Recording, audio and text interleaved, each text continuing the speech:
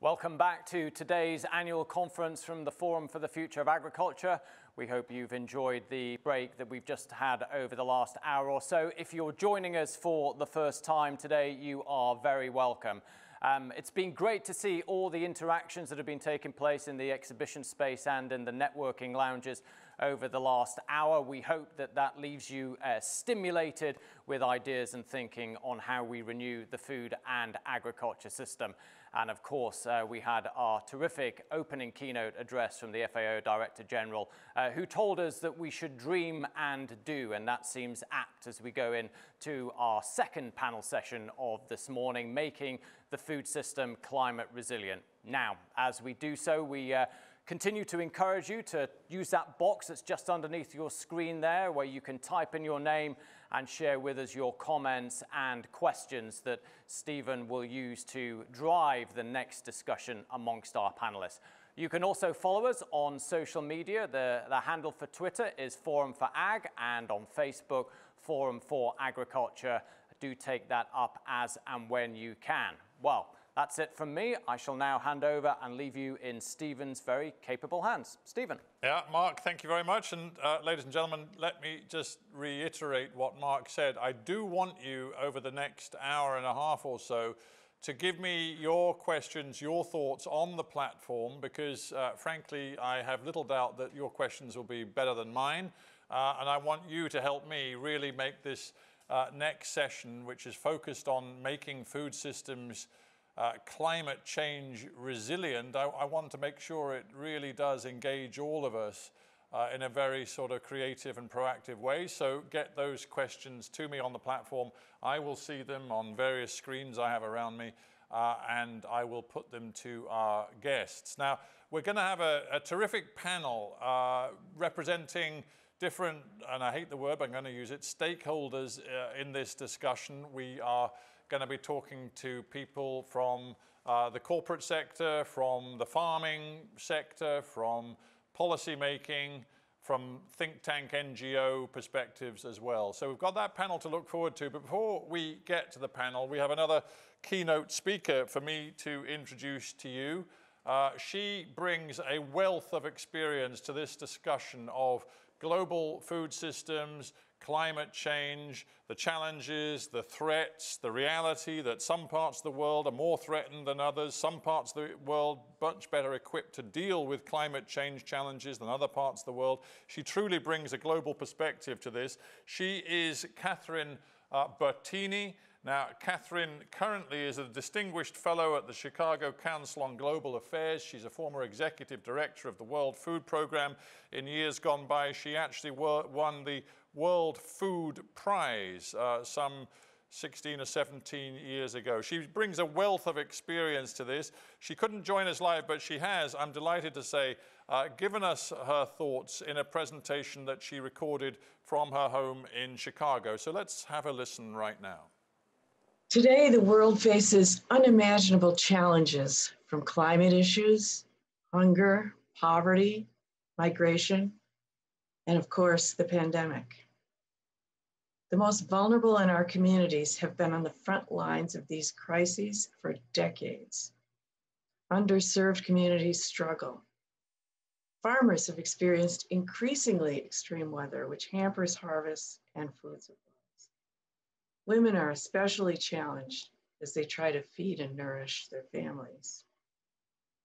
It's exciting for me to be here today to talk about making meaningful progress toward our collective future.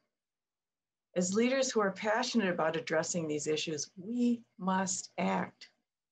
We must work together better to create healthy, nutritious, sustainable, climate resilient, and robust food systems that can last for decades, even centuries. We especially must create systems that serve all people. It's well known that our agriculture system is designed for maximum output from a few high profit crops.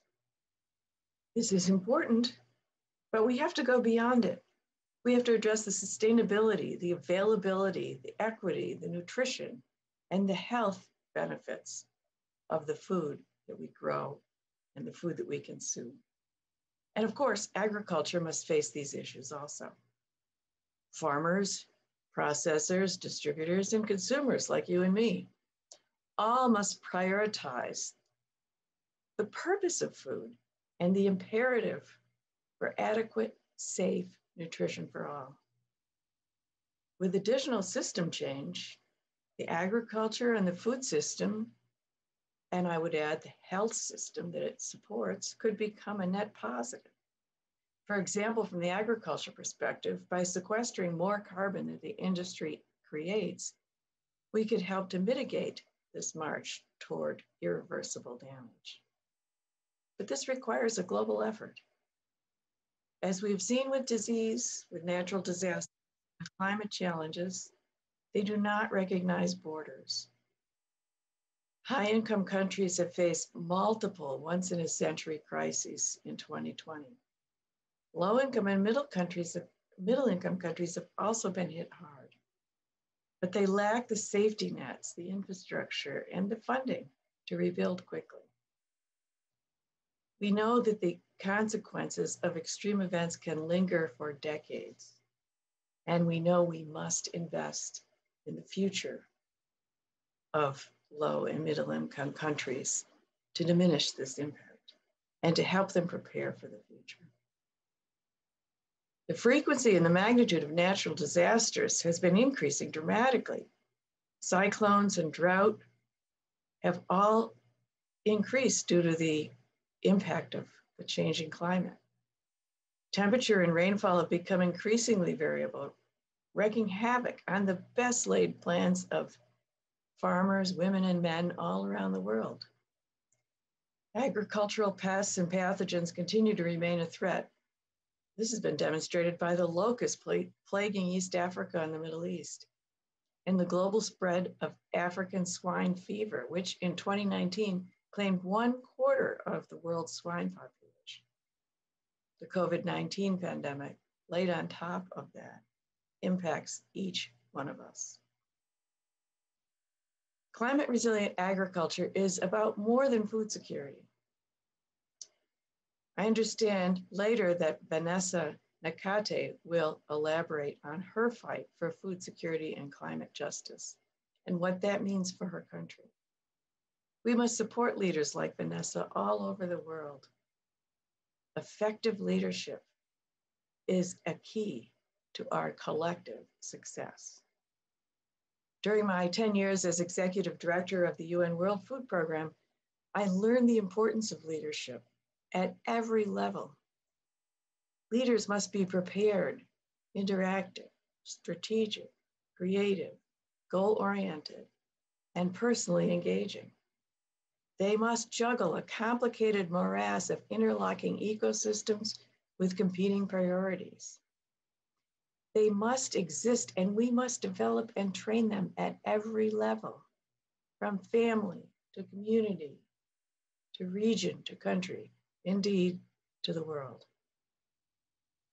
You know, it used to be that a simple discovery of new techniques or technologies almost automatically built sustainability.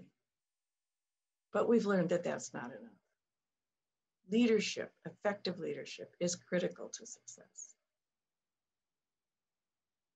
Let's consider that these challenges that we're facing are really opportunities opportunities to create a long lasting, sustainable agricultural system that can operate for decades to come.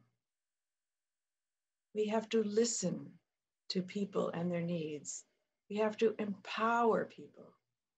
We have to develop leaders. And when we do that, and when we work together, we can turn our current problems into solutions, making those problems now achievable opportunities within our lifetime. At the Forum for the Future of Agriculture today, I am one of many here to contribute to the dialogue between stakeholders of our food and agriculture system so that we can foster the changes that must be made to create climate resilient agriculture and to make it the norm. During this session, I'm confident that the distinguished speakers taking part will be able to showcase that climate resilient agriculture is possible and well within our reach. So long as we align ourselves on local, regional, national, and global levels. So long as we listen to and include the voices of women, as long as we develop leadership at all levels, as long as we're inclusive, as long as we remember our message, our mission to provide accessible, adequate, safe nutrition for every person on earth. Thank you, FFA 2021. Thank you to the organizers for inviting me to this year's annual conference on food, food system renewal.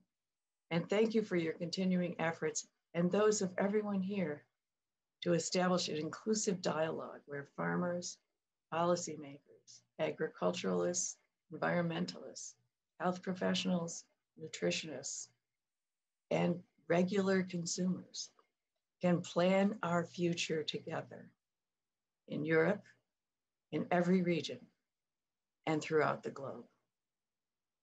Thank you. Catherine Bertini there with her thoughts. It's great to hear from a World Food Prize winner at the beginning of this discussion. And uh, Catherine just emphasized that all of the different people with a stake in this discussion need to be brought together and to work together, not just uh, with the rhetoric and the talk, but with real action. So let's see if over the next uh, hour or so we can convince ourselves that that is a real possibility. To do it, we need a panel which brings together expertise from different uh, sides of this debate, and I'm delighted to say that's exactly what we've got. So what I'm going to do now is introduce to you our panel members. And uh, panelists, we can see you on a screen now, so I want you just to raise a hand and give a friendly wave when I mention your name, because then everybody around the world is going to be clear who is who. So, in no order at all, let us welcome Benedikt uh, who is CEO and founder of Gut & Bösel, which is a big farming enterprise. Erik Fyrwald, who is uh, the CEO of Syngenta Group, Marion Jansen, Director of the Trade and Agriculture Directorate at the OECD in Paris, and uh, Carina Millstone, who is Executive Director of Feedback Global. And Carina has a long re track record in academia and NGOs, including, I think, a, marvelous scheme to uh, build or create orchards in urban areas across the world. So a terrific panel with a lot of different experience. Uh, panelists, I want you first to reflect on the big theme and on the way it was laid out by Catherine Bertini. She was emphasizing inclusivity, the responsibility of all the different stakeholders to actually make real commitment right now. So uh, Benedikt Bösel, I'm going to start with you. You're a farmer. You're sort of a technologist as well. Tell me how you believe farmers can be a hugely significant part of this broader discussion. Um, well, to be honest with you, I think they are the only solution and, and the only people that can actually do it. So I think, you know, currently what we what we experience is a, a lot of chat about this topic. And um, going back to the statement, it is quite beautiful to see that we seem to have understood that agriculture is potentially the biggest solution to many of the big problems that we are facing in the world. I think that for itself already is something that we have worked for and, and we are now able to talk about how that can be basically laid out in, in terms of solutions. But I think what is important to understand is that the only people who can actually do the change and do what we all want them to do is the farmers. So it's not really about what can the farmers do for us with regards to health, biodiversity, climate adaptation, but it's what can we do for the farmers. And to give you a bit more perspective on this, I think it is important to understand many of the situations that farmers are in. And of course, they're very heterogeneous, so it's difficult to basically throw them in a pot. But as far as I can tell, there's really three different forms that farmers are in at this point. They're either, you know, having difficulties earning an, uh, an income as it is, so they're fighting or struggling to survive day day out.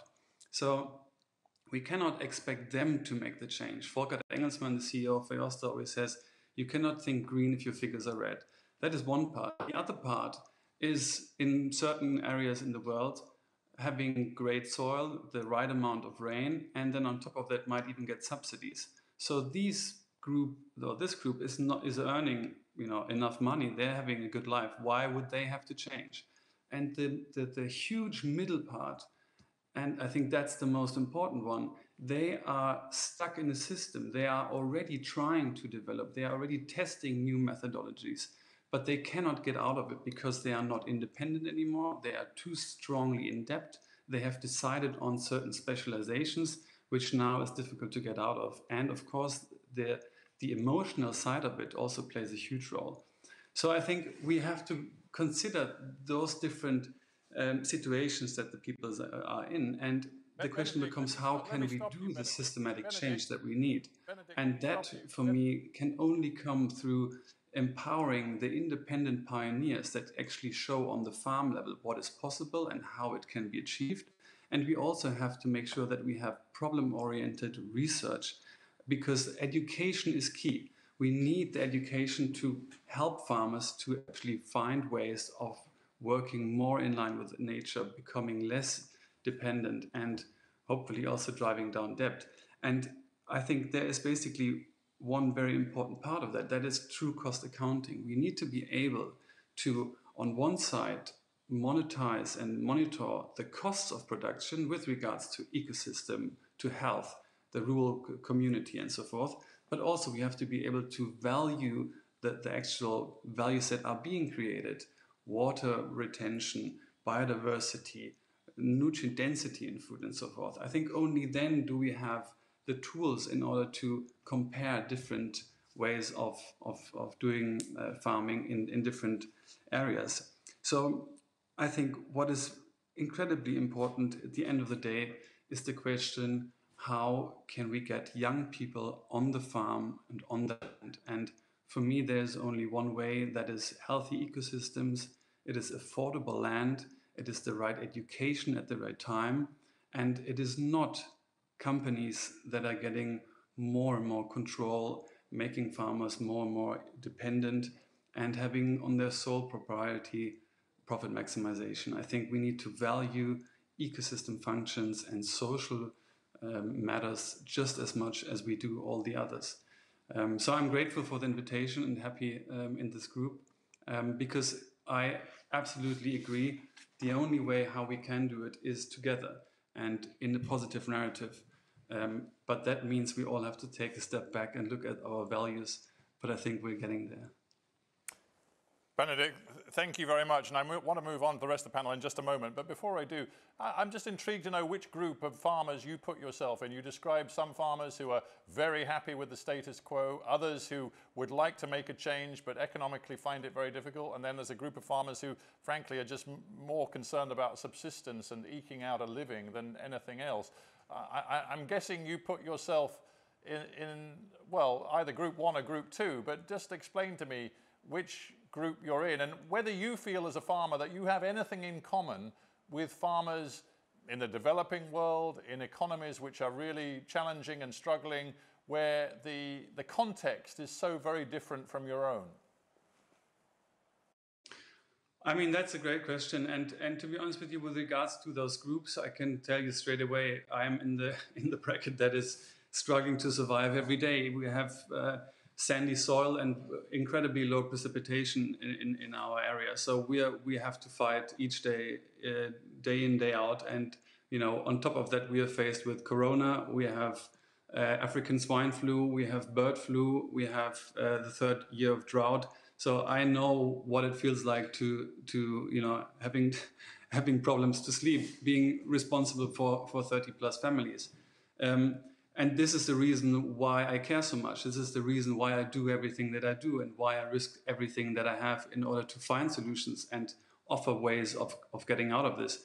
And with regards to the second part of the question, you, you, you're completely right. I mean, I live in my bubble, of course, and it's still an incredibly privileged bubble. I am aware of that. Um, but I think where we all kind of connect as far as farmers is concerned is that we are uh, on the bottom of a pyramid, but the pyramid is upside down. So we have all the risks, we have all the worries, we have no chance of doing anything but trying to get what we can in terms of inputs and machines and so forth, and hoping for nature to somehow support us. And any company, any um, any association, any political law is put upon us, and we have no power in, in, in addressing that somehow. So I think what is just so incredibly important, and I cannot stress this enough, is we have to, you know, instead of saying farmers should be doing this or farmers should be doing that, or why don't they also do this, we have to say, oh my God, thank you guys so much what what do you need from us you, you need education you need capital you can have it all because you are the solution to a healthy ecosystem in the future and no one else really Okay, well, that, that's a terrific opening, Benedikt. Thank you very much. I, I want to bring Marion Jansen in now. Marion, there you are at the OC, OECD, which uh, people will be familiar with for the economic reporting you do. Uh, essentially, a, a, membership group which is of, of the more prosperous and developed world countries than of the poorer developing world countries.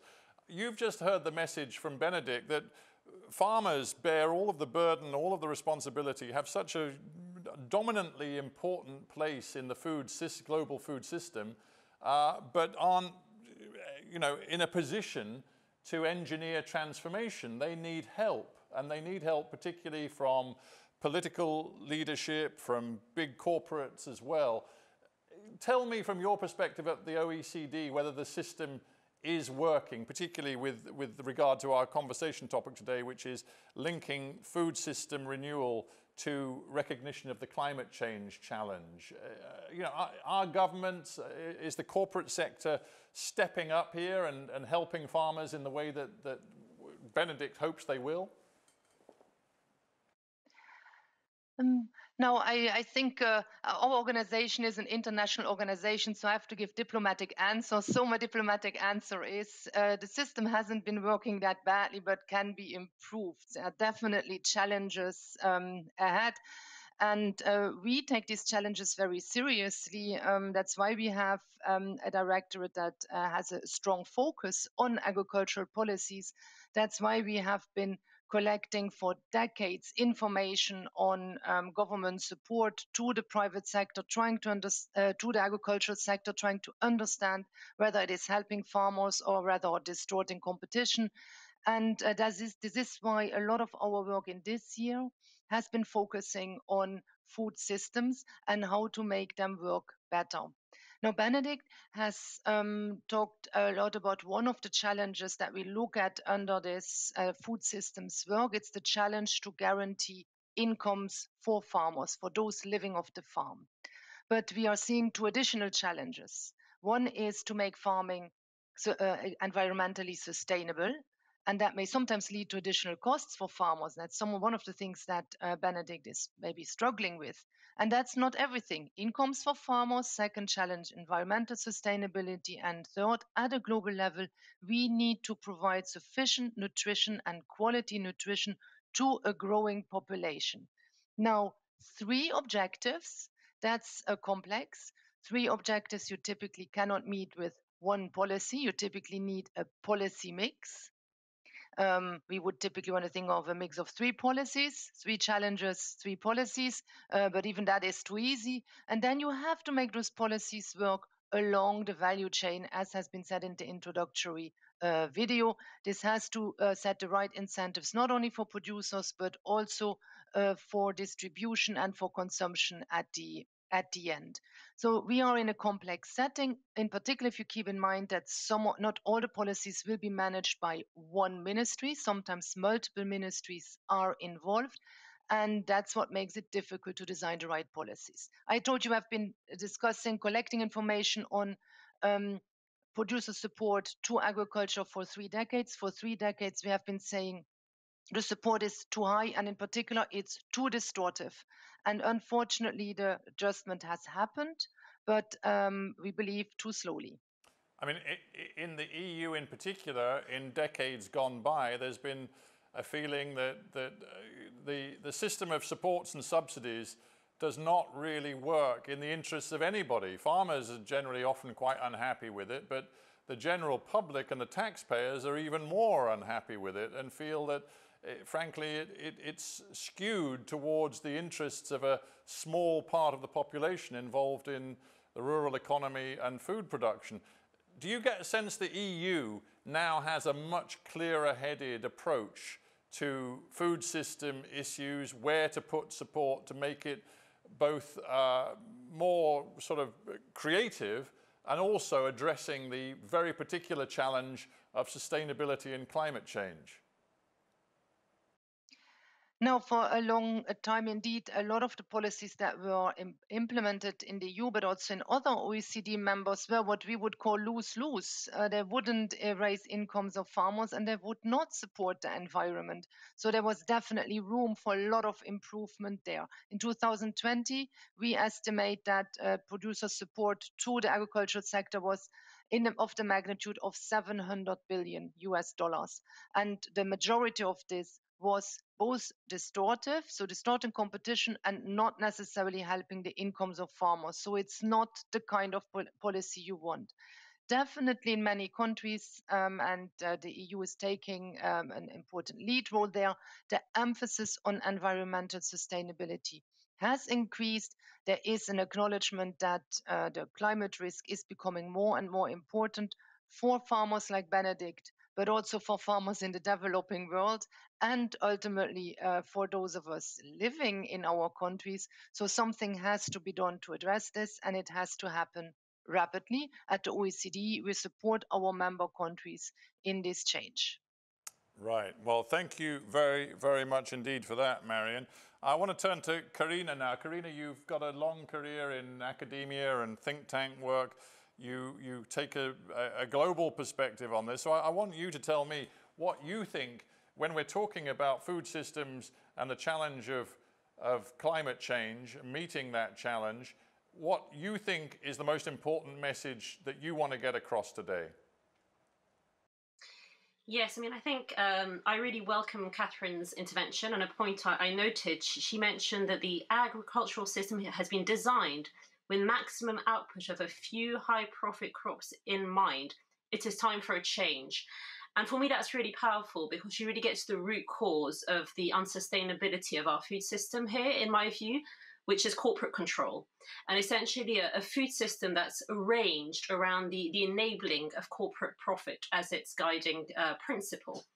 Uh, and in my view, what this does, it ends up trumping all other considerations, including uh, environmental impacts, including good nutrition, the so-called externalities of, of uh, in, in, the corporate talk. Um, and really that precludes a food system geared towards other goals and the goals that we, we all know we want. We all want, you know, we want uh, better nutrition, we want uh, ecological renewal, uh, restoration and, and, a stable climate. So for me, the critical shift that needs to happen, the main barrier here is, uh, is this move away from the, the corporate profit paradigm uh, as the organizing principle towards a new principle, uh, one where the food system is geared towards delivering secure nutrition, good nutrition for all, while minimizing environmental impact and better still, environmental enhancement. And so, if we move towards that principle, we would want decision makers, we want policies and incentives towards that mechanism rather than the current setup that we have, which is policies and mechanisms uh, that enable uh, corporations to, to externalize these environmental and social impacts with, with impunity. Uh, so for me, that's really the missing piece here. That you know, this this recognition that uh, what we what is grown, uh, what is eaten, uh, our food culture, uh, are really shaped uh, by by a few, by a few multinational corporations uh, that are not necessarily delivering the good nutrition uh, that we need uh, while while, in, while enhancing the, the natural world. But Carina, if I'm to take your argument to its extreme, you seem to be saying that uh, capitalism cannot and will not deliver the sustainable food systems that the planet needs. Is that your conclusion? Because if that's the conclusion, it means. Uh, absolutely. Uh, well, I'm not sure we need a revolution, but we certainly need uh, a transition to a post capitalist post-corporate economic system. Uh, that is true throughout the economy. This is the root cause ultimately uh, of uh, you know economic growth being the root cause of environmental degradation and climate change. It's even more true in the food system, uh, I would say, where the urgency is the greatest. Um, take one example the meat sector. We know we need to massively reduce our meat consumption. This is not a controversial position. The IPCC agrees on this, the Eat Lancet report agrees on this. Uh, and yet, uh, meat is currently chiefly produced by 35 uh, meat corporations that all have growth ambitions uh, since they are largely uh, publicly traded. They have responsibilities to their shareholders. And we know that the growth trajectory of those corporations puts us on a collision path uh, with a stable climate and biodiversity preservation. So, um, so yes, this is exactly what I'm saying. That there is this inherent tension between the the capitalist corporate profit motive uh, and and you know and good nutrition and of course uh, restoring remaining ecosystems and stabilizing the climate. That is what I'm saying. Uh, yes. Yeah, Carina, you, I, I love it. I, you, you, you don't know this because you can't see the multi-screen I've got, but on our multi-screen right above you uh, is a representative of this corporate world with which you have such a problem. Uh, Erik uh, Fyrwald has been waiting patiently for his contribution. He, of course, is the CEO of Syngenta Group, and Erik, it's uh, a pleasure to have you join our panel, and I'm sure you were listening very, very carefully to what Carina was just saying. I put it to you, uh, thanks to Carina's contribution, that you and big uh, agribusiness corporations such as Syngenta are a fundamental part of the problem, not the solution. Well, I would say that it requires massive innovation to solve these major challenges for the world. And I think private enterprise, together with NGOs, together with governments, all helping farmers, as Benedikt talked about, we must help farmers to be the solution. And I think we all have an important role to do that. But uh, let, let, me talk about food systems because I, like Catherine and, and like Dr. Chu before her, believe that food systems must adapt in a major way to make sure there's enough food for everybody despite the impact of climate change. And, and, and let me tell you, this is not some future threat we're talking about here. We are already seeing record heat, droughts, and flooding, and more frequent storms than we've ever seen before. And these are challenging the ability of farmers everywhere to grow enough healthy food in a safe, environmentally friendly way. And we need innovations to help them. So let me give you a couple of examples. In September 2019, I was visiting our Fields of Innovation event in the Netherlands, where much of the world's vegetables and flowers are grown. One farmer came up to me, his name was Thomas, and told me that he had a problem with an insect that he had never seen before eating his tomatoes. He showed the insect to me and said that the Syngenta agronomist who shared a picture of the small white fly with our, with our global network was able to figure out from our experts in South America that it was a tuta absoluta fly, something that came from Central America that had never been seen in the Netherlands because of winters that had, had stopped their progression. But now, with global warming, these and other pe- pests are moving further and further north. Another example is fall armyworm, an insect that's devastating to maize and in other crops, and it's now widespread in China. It was never there before until two years ago. And then finally, yesterday, I was on a Zoom call with a U.S. farmer telling me about the horrendous drought challenges in the U.S. western states, and these are causing record forest fires. It's only springtime, and he worries about the viability of his farm and needs our help and the help of others. In Australia now, which has seen the worst drought in history, it now sees horrific flooding. And it's just incredible what farmers have to face. So this is a real threat not just to farmers' livelihoods, but to our global food supply. And the vulnerability of the food supply was highlighted by the COVID 19 pandemic. And by the way, in the last year, the average grain prices are up 40%, which especially is difficult for the poor.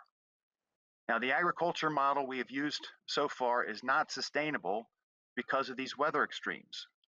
And also, agriculture is responsible for 12% of all greenhouse gas emissions. And this needs to be decreased by at least 50% by 2030 so we in agriculture can help achieve the Paris Agreement goals. Now, fortunately, history shows us that agriculture is up to big challenges. Once highly inefficient and unpredictable, farming has been revolutionized by innovation with major advances in seeds, crop nutrition, and crop protection over the last 60 years. Since 1960, food production has more than tripled, while land use is up only 13%. And pesticide use on farmland has fallen by 95%, thanks to safer, more effective pest control solutions. And today, agriculture is one of the few sectors that can make a choice to go from being a net emitter of carbon to becoming a net sequesterer. So, we believe in regenerative agriculture, which some call nature positive agriculture.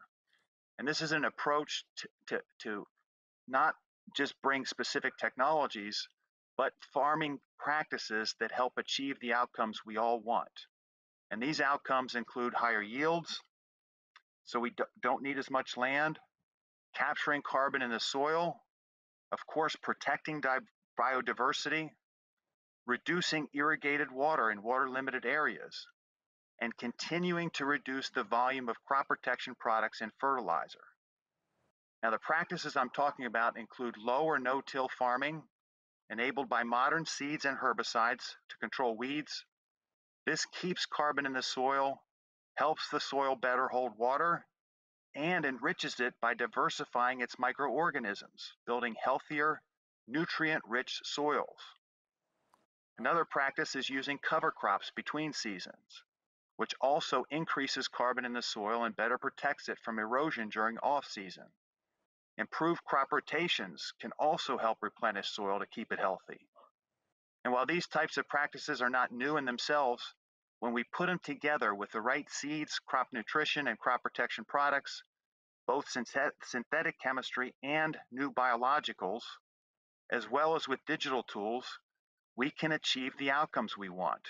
And this is why Syngenta has committed investing $2 billion in regenerative agriculture breakthroughs over five years.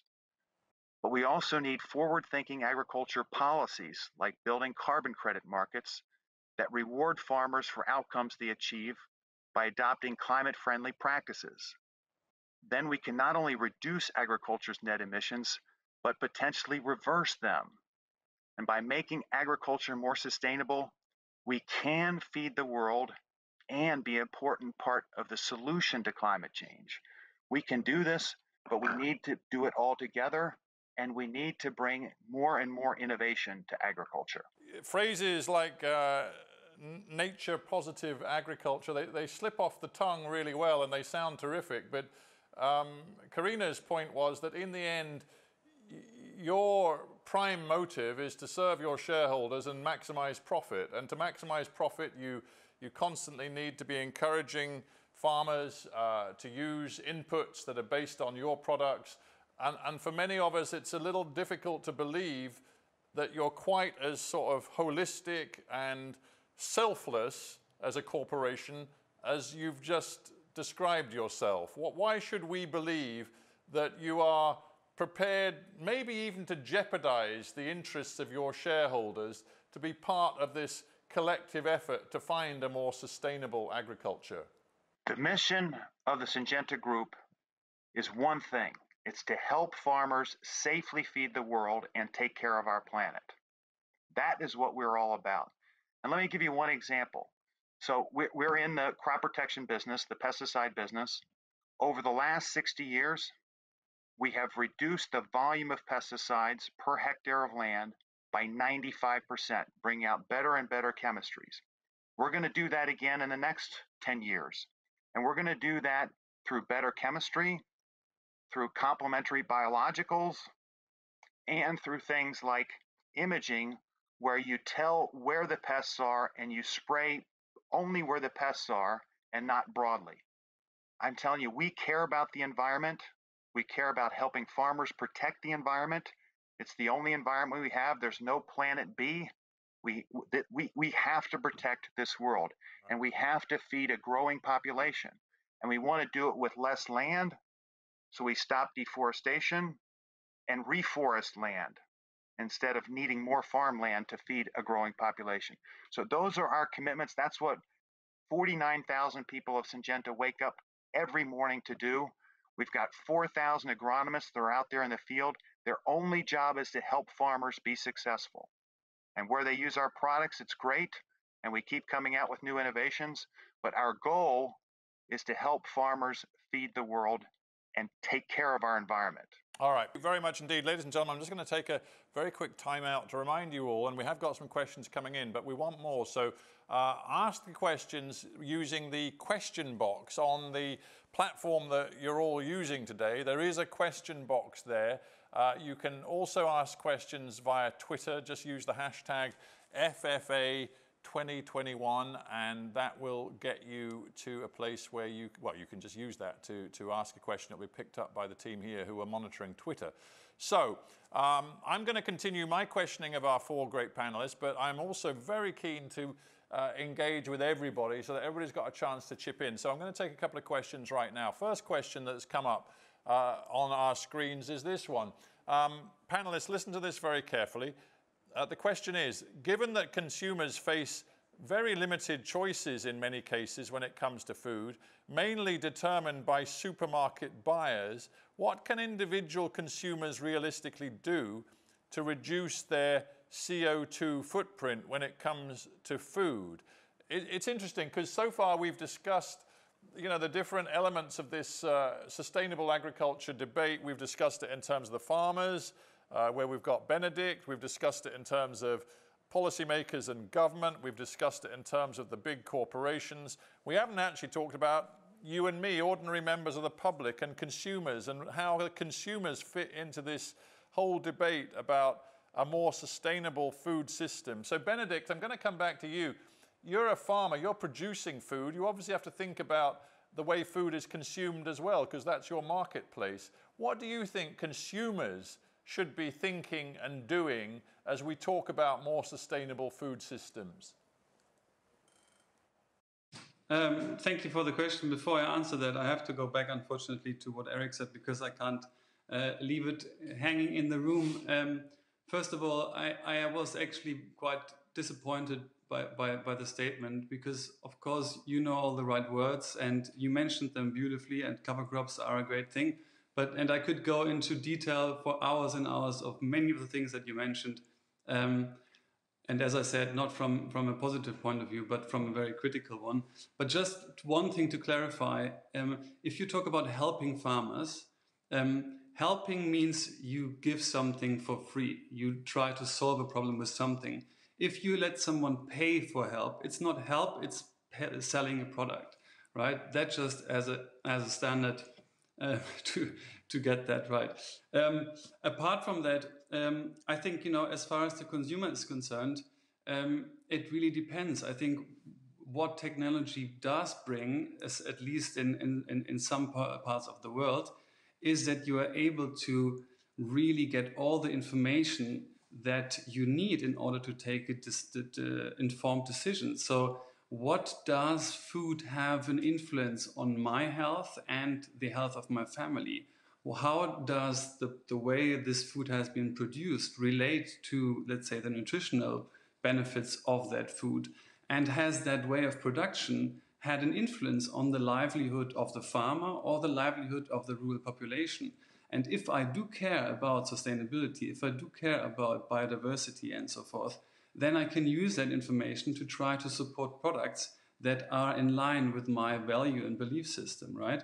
And I mean, I am aware that this is also, in a sense, a privileged discussion, but it has to start somewhere. And we, let's say, in, in the northern hemisphere, we have the possibility to take that um, transfer, that, that informed decision, and thus support farmers and, and communities that are farming with nature increasing biodiversity, increasing um, carbon in the soil, and thereby producing food that is very nutritious. And they do that not by massive innovation from the industry, but they do that because they understand the complexity of ecosystems and they understand that they have to close the nutrient cycles to have less chemical inputs. But uh, just, just as a point of detail, Benedikt, do you produce uh, at Gut Bösel, do you produce livestock, uh, meat? Uh, are you in the meat industry?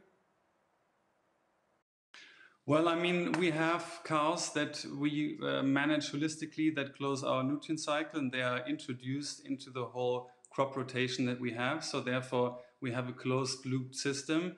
Um, in addition to that, we have over five different syntropic agroforestry systems, which also incorporate livestock, because this is what it comes down to.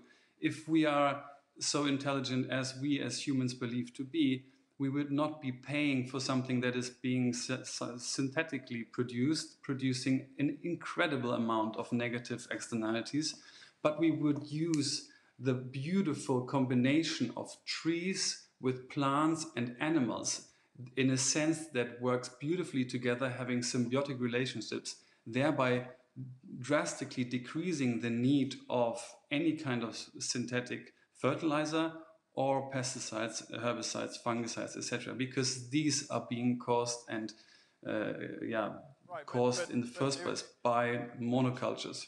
Right, but if if we're to take uh, that seriously, what you've just described as your uh, production values, then the the price of food is is going to have to rise markedly, isn't it? If the whole world were to adopt the practices that you say you adopt in, in your farming system because it, it's quite an expensive way of producing. And I'm just wondering, I, I, I just want to bring uh, others in. I want to bring Marion in. Marion, do you, you know, do you believe when you look at, uh, at the, from the OECD perspective at how these systems work, do you believe that food uh, is fairly priced or that the pricing system doesn't work, that the, the, the emissions and, and carbon value intrinsic to certain foods isn't actually there so that the consumer isn't really faced with choices that are, you know, sustainable when it comes to their weekly supermarket food shop. What do you think needs to happen in terms of consumption, in terms of the pricing of food? Well, um, coming back to, to uh, uh, Tom, Catherine used uh, externalities, uh, the environmental externalities are, are, clearly not fully priced into the system. Um, I would be surprised if anybody um, questions that. So this is currently not the case. Um, we not only are is the externality not priced in, many countries are still subsidizing fossil fuels. So we are subsidizing uh, some of the um, of the materials, the ways of production that are damaging for the environment. So um, at OECD, we are looking at these things and we are very actively working on addressing this. We are proposing, for instance, uh, carbon pricing schemes and are discussing this with governments at the international level. These discussions, this, this research these consultations, this consensus finding is going on as we are speaking. So there is work happening in that direction. It has been too slow over the past years, and uh, we need to speed this up. One reason why it is slow is that uh, we are not only dealing here with the facts, uh, facts like agriculture uh, is responsible for part of the uh, carbon emissions, that uh, st- still 2 billion of people do not have uh, regular access to net- sufficiently nutritious food.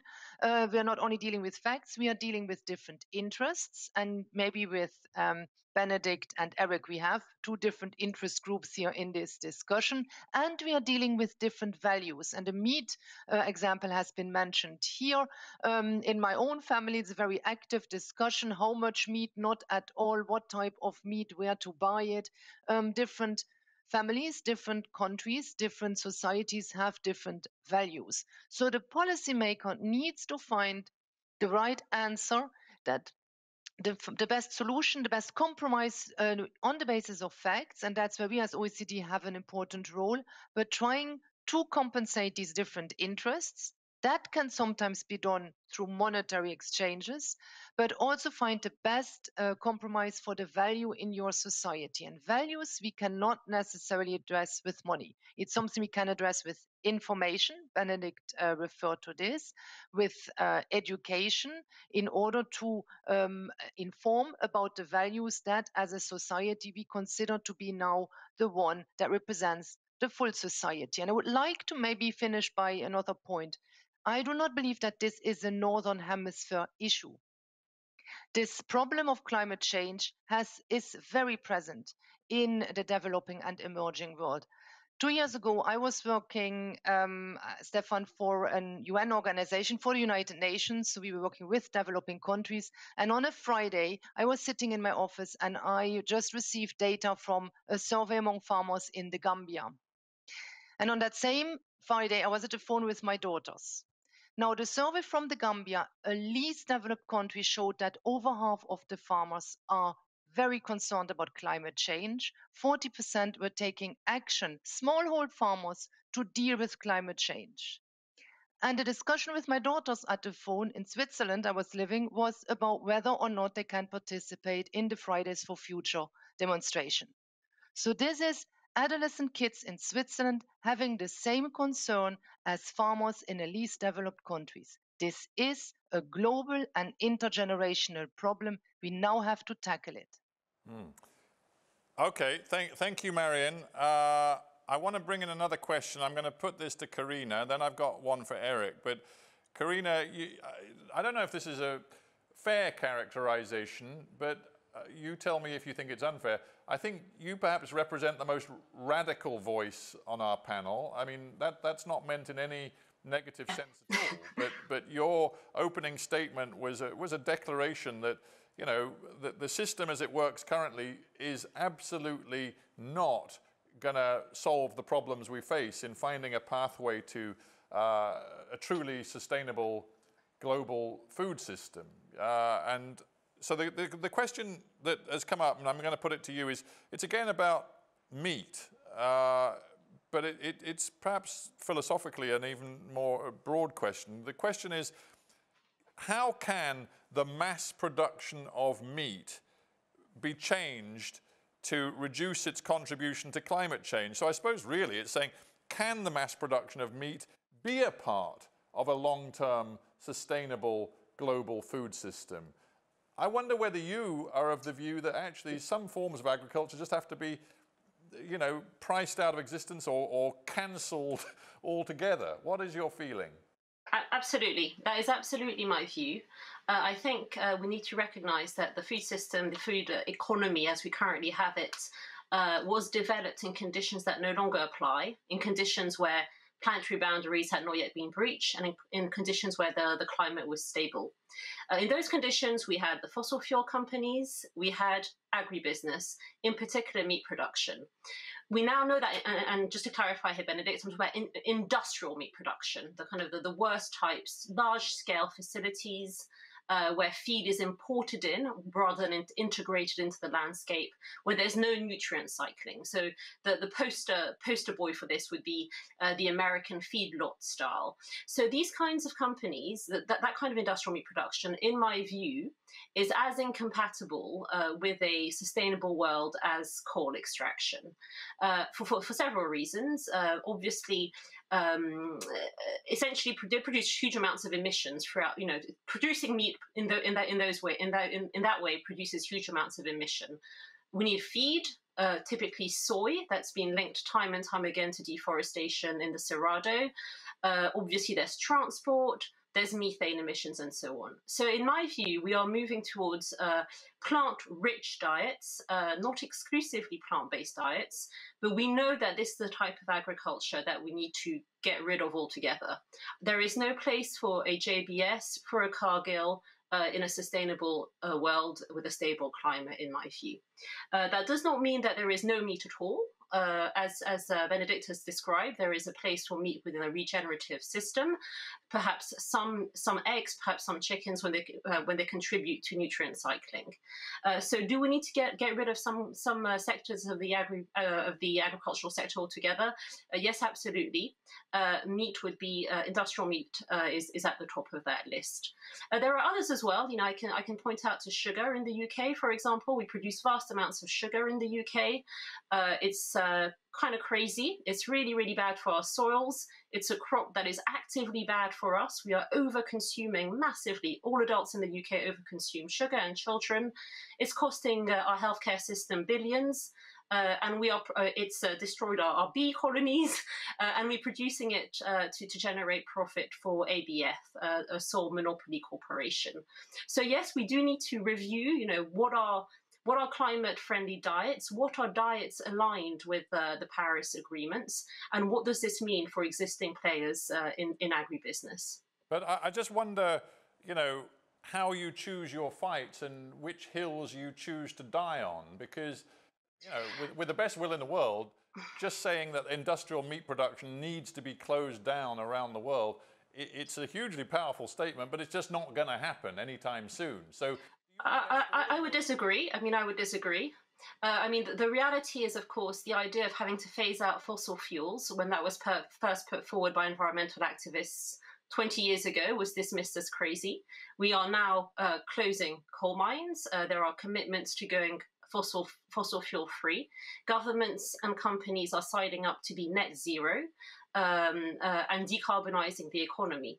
Uh, it's a natural evolution, applying that kind of thinking to high polluting industries and energy, to applying it to other sectors, in particular food and agribusiness. Uh, so uh, I really think the choice before us is do we want to keep companies in business that are destroying the planet in business, or do we want to start making a plan to phase them out?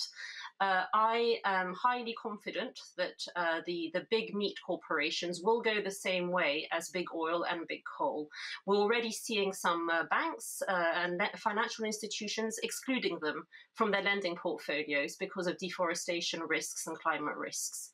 Uh, so, uh, in terms of which hills to climb on, it, it is quite clear uh, when we think about what is a Paris aligned diet and what does that mean for dietary change and what are the implications for incumbent players, it is clear which, uh, which sectors of uh, the agricultural and food system need to go. Okay, well, Carina, very powerful stuff. Thank you very much for that.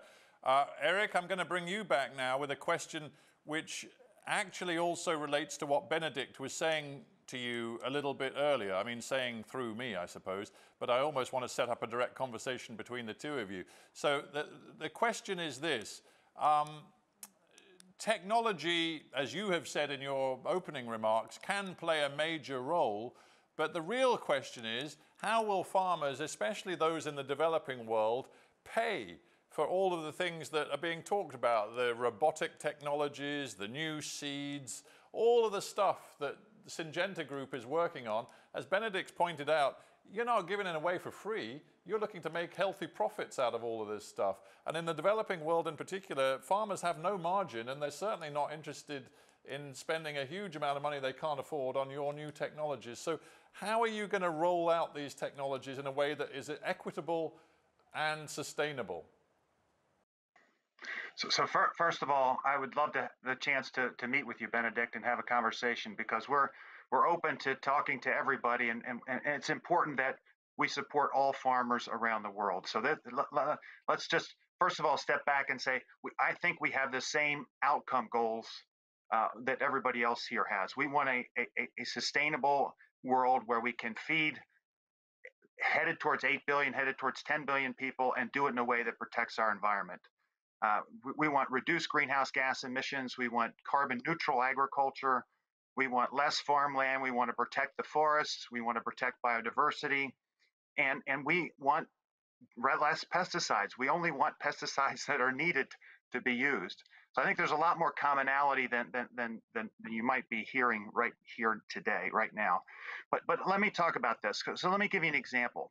So back in, in fall of 2019, I spent a week in India, uh, w- including visiting our, our site there where we're training women in agriculture in India to be agri entrepreneurs to help local growers grow more food. And, and I visited a farmer. His name is Rajiv. He's a chili pepper farmer. And he, he showed me, we were a bit late because we were visiting many farmers. And we got there at night and, and he, he, he had a flashlight he brought out with him and, and he, he wanted to go out and show me his chili pepper field. And he was telling me about how the higher temperatures in India had decimated his yields and how new seeds from Syngenta had helped revive his yields and he was able to grow successful chili pepper crops. Chili peppers that were bigger, better tasting, and got him more money for them. And then he brought me back to his small house.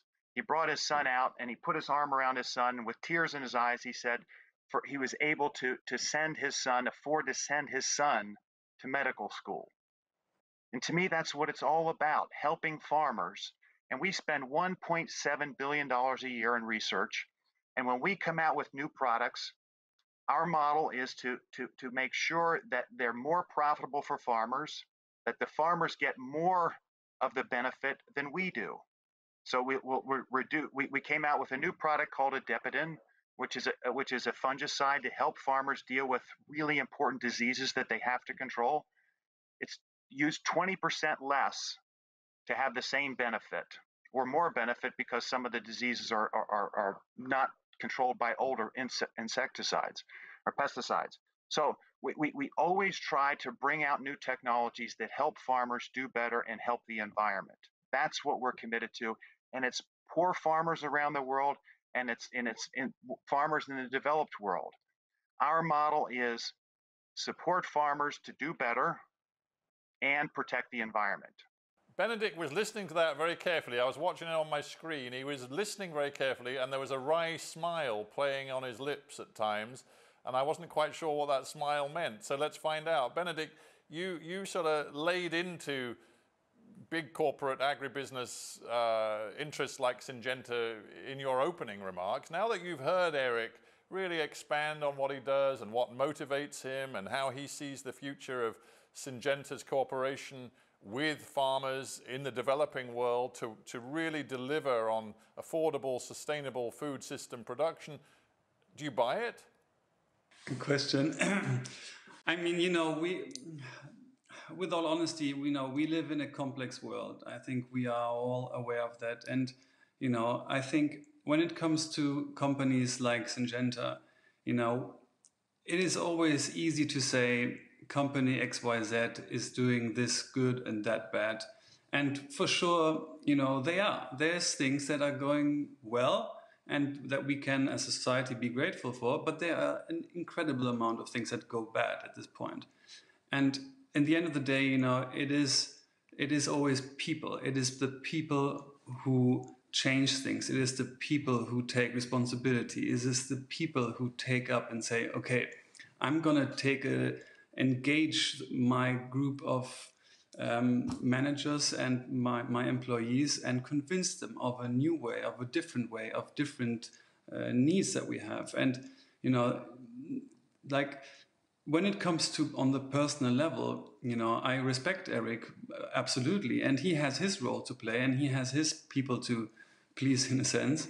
So I believe that from the situation that he is in with the interests that he stands for, he believes, um, or you believe, Erik, I can directly uh, address you. Um, you, you believe what you're doing is right, um, and that there, as I said, there's things that that that you that you are doing right, but at the same time, you know, I think what we need in our day to day is humbleness. Like there is just for everyone noticeable so many things that are going wrong. And I would just love for a company like Syngenta with that much power to stand up and say, look, people, we have a problem and we are part of that problem, but we know what we're doing wrong and there is certain ways of how we can do it better. And we, we take a leap of faith, we take responsibility more than just saying, you know, we stand for regenerative agriculture because this is the new word. So I think, you know, saying is easy, doing is more difficult. Um, and I think we, we all, all of us can do more than we say. Um, and I think we need more, to be honest with you. you know, you know what? This, this reminds me a little bit of the debate we've been having through the pandemic about the, the race to find vaccines and help the world recover from uh, COVID 19.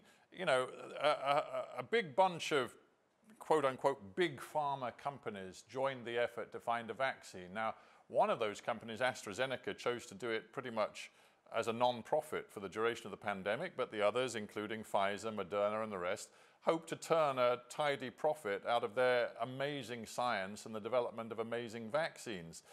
But the point is, the profit motive in big pharma is arguably very important to driving the best innovative science. And I'm, I'm, I'm saying that because the questions come up, uh, and I want uh, maybe Carina to address this. Because it, when we're talking about driving more sustainable uh, food production, we do need the very best of cutting edge technologies, the kinds of technologies that Syngenta and many other companies are working upon. And the question that's come in from the audience is, if we got rid of the Syngentas of this world, who would replace what they do? I mean, we need a lot of what they do. So if you're removing the profit motive, the big corporates, who's going to do it? Yeah, I mean, I think I think we shouldn't over overstate the role of uh, the private sector necessarily in innovation. Uh, obviously, a lot of research happens in universities, um, as as was the case with the AstraZeneca vaccine in terms of that analogy. So I think what businesses do well, what the corporations do well, is is commercializing innovation, right? Is the finding a way to make it profitable, standardizing it, uh, and and finding a way to to distribute it. Um, I think in terms of the where the analogy with the pharmaceutical so pharmaceutical sector falls down a bit is that there's an assumption here that we need um, more innovation in, in the food sector uh, and then the agricultural sector, which I am not sure is the case. Uh, I there are other ways to achieve uh, the goals that um, uh, Erik speaks of in terms of feeding the world, which is obviously what we want to do, uh, and in terms of um, creating space for nature, for rewilding and afforestation. Do we need cutting edge technology to do this? Not necessarily. The, the main gains for these goals of feeding the world uh, and uh, making space for nature could be achieved through dietary change, as we've already explored, so through a massive reduction in meat consumption in high income industrialized countries, but also crucially, something we haven't mentioned here at all yet, and it's a big part of the puzzle, through food waste prevention. Uh, so this, you know, this, this is a, by far the lower hanging fruit. Uh, you know, a third of the food that's produced is never eaten with huge environmental impact. So simply halving meat consumption and halving food waste would enable us to massively reduce our emissions. Uh, the UK government's modelling suggests about 88% reduction of, of agricultural emissions uh, while freeing land for afforestation. So we're not necessarily after high tech solutions, I don't think, uh, when it comes to, to, to food production and ag- food production agriculture. We, have, we can pr- focus on diets, we can also focus on food waste prevention first. Yeah, Erik, either you're being very friendly or you want to get in with a comment. But if you do want to get in a comment, make it quick because I've got something I want to ask Marion and we're running short of time. So go for it quickly. Okay, I believe strongly, we believe strongly in the two points that was just made. Dietary change, very important. And we're supporting with, with breeding technologies, new seeds to help plant based meat companies do better, have better tasting products with less ingredients one. On food waste, we also believe we have to cut down on food waste. One is on the farm, increasing yields on the farm so there's less food waste on the farm. Another example is we're, we're the leaders in the world in tomato seeds. We're now breeding tomato seeds not just for yield and taste, but also for shelf life. So we're adding one or two weeks of shelf life dramatically reduces the waste in the in the tomato value chain. Mm. So we're absolutely committed also to dietary change and food waste through innovation that is better for consumers. All right. Thank, thank, thank you for that, Erik. I, uh, I want to introduce one more big thought that is, is uh, coming to me because of the pandemic, because of things we've seen through the pandemic. As we watch the vaccine rollout around the world, a lot of us are hoping and praying that international cooperation isn't just rhetorical but becomes real. And one of the agencies that may or may not work as a part of that is, is the COVAX uh, agency which is trying to ensure that vaccination is rolled out to the poorer countries who haven't been able to procure their own supplies of vaccine through the open marketplace because they simply don't have the money.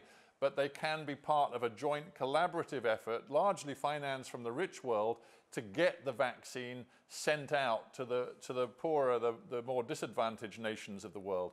It, I just wonder whether, uh, Marion, whether you see any scope for that sort of genuine cooperative, collaborative relationship when it comes to uh, food systems and uh, combating hunger in a sustainable way. That is, can the rich world, which is perhaps better placed to develop sustainable food production systems quickly, can it help the poorer parts of the world both by giving technologies, if technology is relevant, but also, frankly, by redistributing food in a more equitable way. I mean, is this something that is just pie in the sky, or, or is it realistic? Um, I think we have seen in this in this pandemic uh, the best and and maybe also a bit of the worst of international uh, collaboration. We have seen uh, first that um, collaborative processes that we put in place after the great financial crisis have have had a very positive effects during this pandemic. I'm thinking here of the agricultural market information system that was put in place after the great financial price, uh, crisis. It's a simple web portal where you can see the prices of major crops. I'm thinking of rice. I'm, think, I'm thinking of corn. You can see which export restrictions are in place, but also you can see how much of the crop is available on global markets. And when in the beginning of the pandemic, policymakers started to be nervous, markets started to become jittery, started to think, oh, there will be a shortage of food, uh, prices started to go up. We could show there's no reason for panic. There's enough food around. The harvests have been good. No need for prices to shoot up now. And markets stayed calm in the uh, second and the third quarter of last year. So there we worked together. We had put in place a mechanism after a bad experience, and that mechanism worked. During the COVID 19 crisis, the G20 ministers, I think, have given a very interesting and powerful example. I'm thinking of the trade uh, ministers.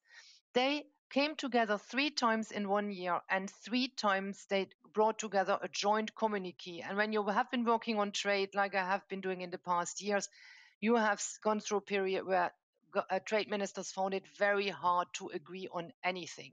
And there, three times they agreed on a text. Three times they said, if you put measures in place to restrict trade, do it carefully, do it temporarily. Keep in mind that it's important for things to stay, keep flowing. There was a real sense of urgency and for need to collaborate. Now, in the vaccine uh, situation, we are not seeing that great um, a uh, collaboration yet. Here we are in a situation where many, many complicated issues are coming together. Innovation has to um, happen rapidly. That requires investment. The, the new products have to be certified. You have to make a trade-off between how sure are we that this is safe and how many doubts do we still have. There are market players who are have a certain market power, who are now uh, have a role in distributing the um, the vaccine, and there are policymakers who quite frankly, have to be responsible, feel they have to be responsible above all for their own voters before they think of others. This is complex, has to be solved very rapidly.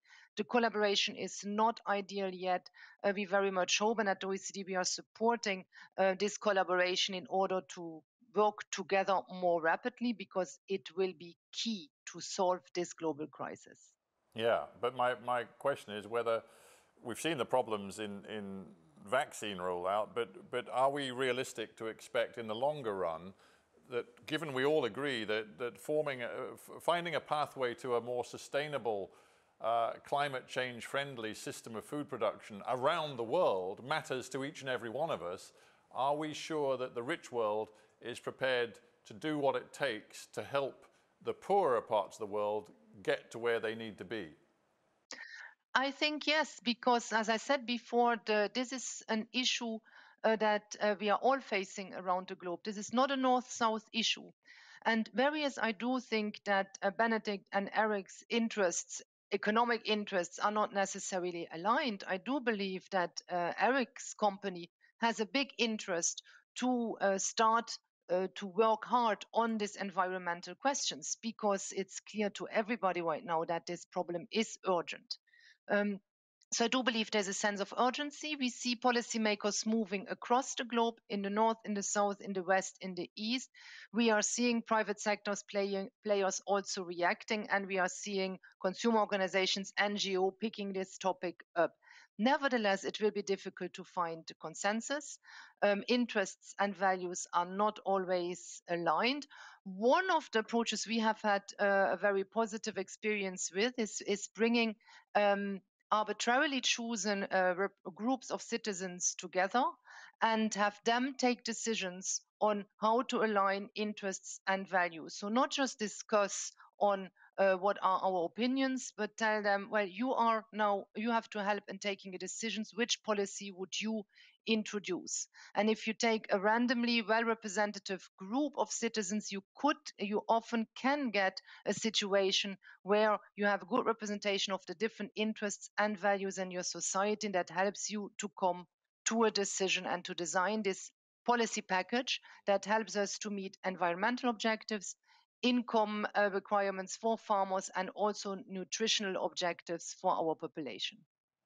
All right. Well, uh, Marion, uh, thank you very much. You just touched on sort of north-south issues, which we're going to touch upon even more in the next few moments. We, we, unfortunately, panel members, we've run out of time for this panel. I have to say, I found it really stimulating, enjoyable, insightful. I really, really thank you, all four of you, for bringing your experience uh, to this discussion and being not necessarily all on the same page, but discussing it with uh, frankness and great good spirit. So Thank you to Marion, to Erik, to Benedikt, and to Carina. We've really enjoyed your contributions. Thank you all very much indeed. So there, there you have it, ladies and gentlemen. I think that really laid out very well the, the, di the different and sometimes challenging perspectives that there are on this issue of how we get to a, a more sustainable uh, food system. And the issue isn't just long term, it is indeed very urgent. Uh, and as Marion was pointing out there, this shouldn't be a sort of north south, a rich against poor issue. But the fact is that while the industrialized world is historically responsible for most of the greenhouse gas emissions in the world, which are causing the climate change, uh, which we now all have to take so very seriously. Historically, it is the industrialized world who produced the greenhouse gases, but many of the worst impacts are being felt in the uh, less industrialized, the more developing uh, economy parts of the world, and in particular being felt in food systems, agriculture and rural economy systems in those poorer parts of the world, which is why right now I'm so very pleased to be able to introduce to you our next guest speaker who's going to take us up to our lunch break. Uh, that is Vanessa Nakate. Now, Vanessa is joining us from Kampala. She is a long-time climate activist and she's also the founder of the Rise Up movement. And Vanessa's going to give us some opening thoughts and then I've got a little bit of time to ask her a couple of questions as well. So Vanessa, over to you. Thank you very much. Hi everyone. My name is Vanessa Nakate. I am from Kampala, Uganda a country that has one of the fastest changing climates in the world. Historically, Africa is responsible for only 3% of global emissions. And yet, Africans are already suffering some of the most brutal impacts fueled by the climate crisis. Rapidly intensifying hurricanes, devastating floods, and withering droughts. Many Africans have lost their lives, while countless more have lost their homes, farms, and businesses. The droughts and floods have left nothing behind for the people, nothing except for pain, agony, suffering, starvation, and death. We are watching farms collapse and livelihoods lost due to drought floods, and swarms of locusts. Climate change has disrupted weather patterns. In countries like mine, causing shorter and heavier rainy seasons and longer dry seasons. Again, farms are being washed away by heavy rains destroying crops, and crops are getting burnt in intense dry seasons. We saw the locust invasion in countries like Kenya, eating everything they came across in the farms. The climate crisis means hunger and death for many people in my country and across Africa. This is not a hypothetical situation. Food scarcity is an existential threat right now. The climate crisis is leaving millions of people hungry because there is no food. The emissions creating global heating are not just coming from coal fired power plants and diesel and petrol vehicles. Agriculture and land use together is about 25% of our global emissions. Nitrogen fertilizers for food production threaten our chances to keep global temperatures from rising more than 1.5 or even 2 degrees. The animal agriculture industry alone accounts for up to 15% of global emissions. 83% of the world's cultivatable land is used to feed livestock. Yet livestock only provide 18% of our calories. If we were to change towards a plant-based diet, we could save up up to 8 billion tons of CO2 a year. Of course, not everyone has the ability to make such changes, but most of us could do something. And it is those who have the most power who also have the most responsibility. We need to drastically cut emissions towards zero starting now. But in addition to reaching zero carbon, we must also reach zero hunger.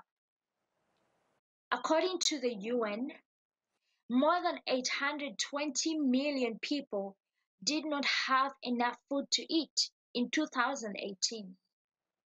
That is one in every nine people in the world. And that number continues to rise. Some of the key drivers of hunger and food insecurity include conflict, instability, and climate change. Conflict and instability have increased and spiraled, triggering greater population displacement, which leads to a greater demand for food in places where there is already a shortage. On top of this, climate change is affecting agricultural productivity, food production, and natural resources. So the climate crisis is a food crisis. And the food crisis is a humanitarian crisis. There is no climate justice without ensuring that there is food justice. So I say this to the leaders gathered here. Stop investing in fossil fuels. Stop digging up and burning fossil fuels. And stop forcing fossil fuels back into the ground where we grow the food that sustains us. We cannot eat coal and we cannot drink oil. Thank you. Vanessa, thank you very much indeed for that very powerful presentation. I, I, know there's a little time delay on this line between me in London and you in Kampala, but I've just got time for one question. And I get the sense from what you said that you don't believe that the leadership in the, in the rich, uh, industrialized world is yet shaping up to its responsibilities for the climate crisis and, and not doing enough to help people in Uganda and other parts of the developing world to really cope with the consequences, particularly in terms of food supply. What would you like to see the rich world commit to right now? Thank you very much. We all understand the historical events that led to the climate crisis. That is why the developing world cannot be left behind. That is why climate justice cannot only be seen in the developed world. There is no climate justice if it isn't global enough and if it doesn't include everyone. There are solutions that we know can work for people in my countries right now. They may not be moonshot technologies, they may not be rocket science kind of technologies, but they are solutions we believe can work right now. For example, I can talk about one of the projects that I am working on, which I started. And it involves the installation of eco friendly cook stoves in schools. This is a solution that is already on ground.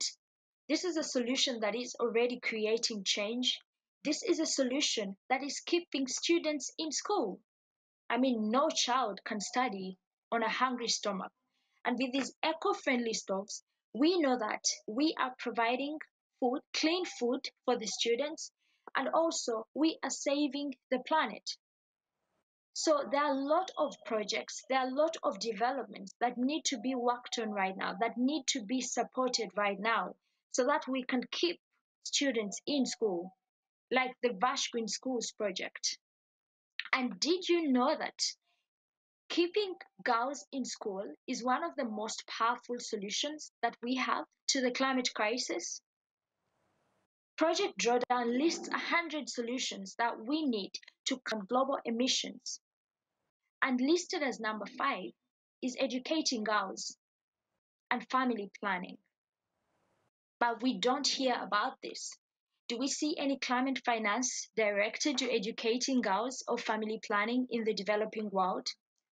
So we need to actually leaders need to stop thinking beyond moonshot technologies and think about mm-hmm. solutions that are already working right now, that need to be supported right now, that need to be financed right now on a large scale. We need every solution possible Yeah. to be able to fight the climate crisis. Because with the climate crisis, then there is no food security.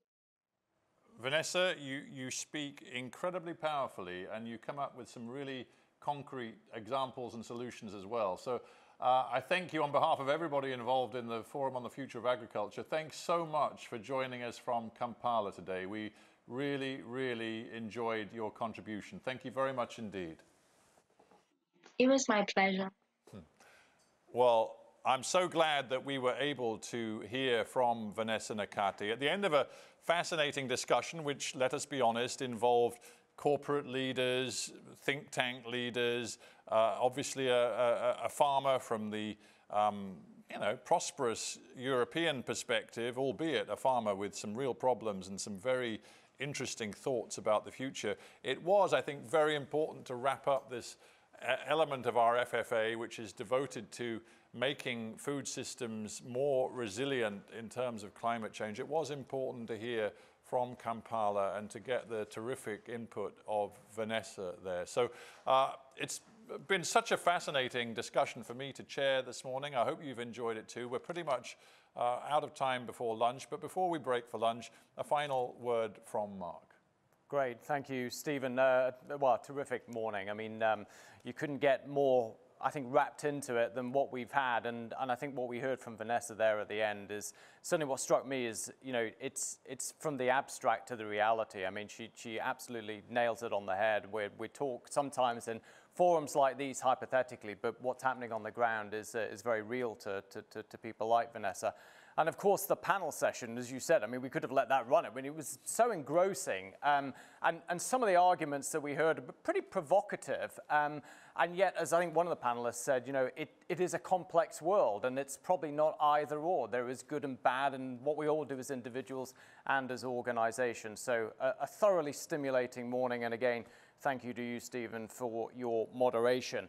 Um, that does pretty much wrap things up for the morning. Um, hopefully you're uh, stimulated by all of that. If you're not, nothing will do it. Um, it is lunchtime now here in Central Europe, maybe even just slightly after lunch. Um, so we encourage you to uh, take a break now, um, step again into the exhibition zone. Plenty of our uh, partners and supporters there to, to nourish you with their ideas if that's uh, what you want, and also in the networking zone. And for the eagle-eyed of you on the platform, you will notice that we have a kitchen that is available for uh, you to virtually um, enter and peruse. There are recipes there that are healthy, nutritious, and tasty, and also sustainable, I'm told, uh, and some show cooking as well to inspire you further. So off you go, enjoy your break. We'll be back here at 1.30 Central European time. I think that's right, 1.30 Central European time, where we will be looking at healthy food for all at scale. Bye for now.